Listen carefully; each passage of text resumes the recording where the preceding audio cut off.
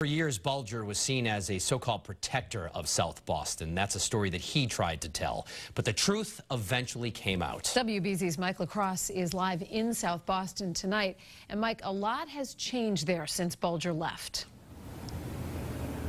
Lisa, the neighborhood is still changing even right before our eyes. Here's an example of that. This used to be a pizza shop and a dry cleaners. It has been leveled to make way for another condo unit like this one right here behind us, which is already complete. And despite all the millennials that are moving into this neighborhood, there are still people that lived here when Whitey was here, and they remember what it was like.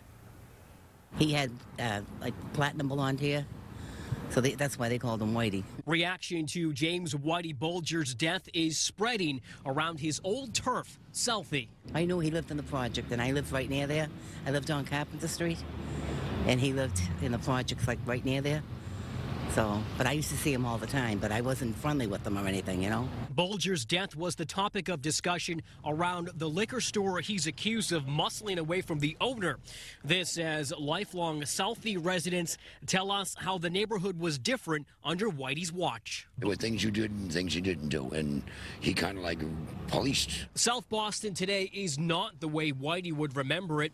Triple O's, a bar he and the Winter Hill gang frequented, got a makeover and a new name years ago. Triple deckers are now condo units or apartment buildings filled with millennials who are vaguely familiar with his name. It's completely different now. There's like luxury apartment buildings everywhere all around us. So it's he wouldn't even recognize it if he came back today. And there are employees and owners of businesses that have been here for decades that would not speak with us on camera about Whitey because they're still concerned about his influence even today. We're live in South Boston tonight. I'm Mike LaCrosse, WBZ News.